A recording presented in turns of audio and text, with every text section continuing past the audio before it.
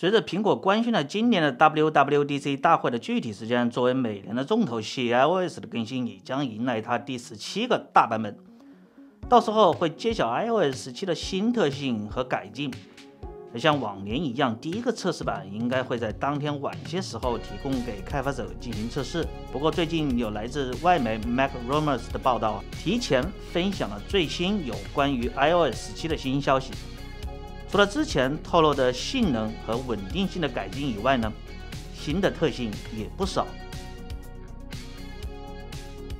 苹果目前最新款 iPhone 十四 Pro 系列手机取消了前置刘海，而改用灵动岛设计。而今年九月份将要发布的 iPhone 十五系列也将极有可能会全系标配灵动岛的功能。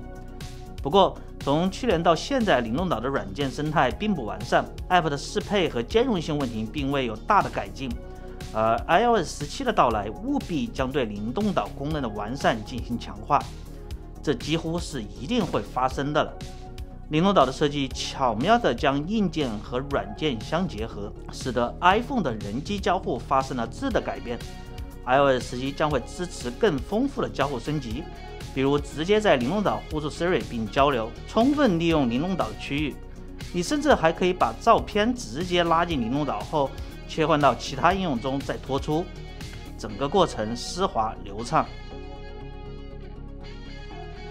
小物件可以让我们不用打开具体的 App 应用，就能在桌面方便的查看应用信息和内容。但目前仅仅只支持查看消息，并不支持进一步的交互。而马上要来的 iOS 十七中，Apple 可能会进行全新设计，让用户可以直接在小部件上进行交互操作。拖动滑块或者是点击等等。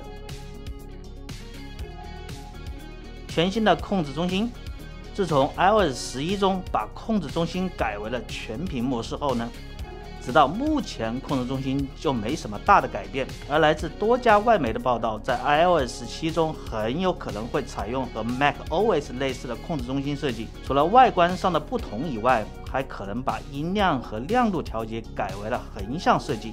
另外一些比较高频使用的功能，例如 WiFi 和蜂窝网络等等，都将移到控制中心的底部。Spotlight 可以使用户快速方便地找到自己想要找的内容。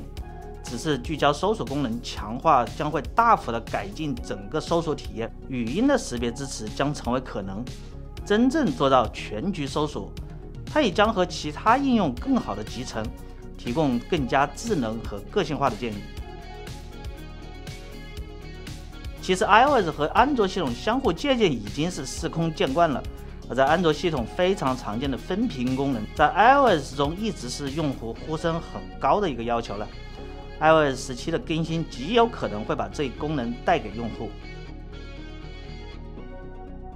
另外，我们在早期的视频中也提到过应用车载功能。来自彭博社的 Mark Gurman 也在他的报道中提到，iOS 十七的开放使得用户可以绕过 App Store，直接安装第三方应用程序。当然，这个是 Apple 被迫于欧盟的压力。要知道，App Store 每年可以给苹果带来巨大的营收，车载的出现无疑使得苹果压力山大。但作为用户的我们，还是乐在其中。除了以上功能以外呢，新的 CarPlay、相机 App、各种辅助功能等等，这些都会得到更新。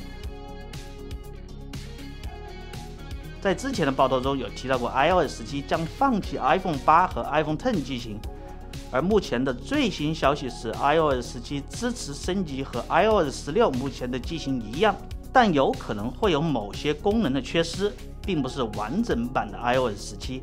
距离 WWDC 二零二三还有不到两个月的时间，关于 iOS 十七，不知道你们还有什么特别期待的功能？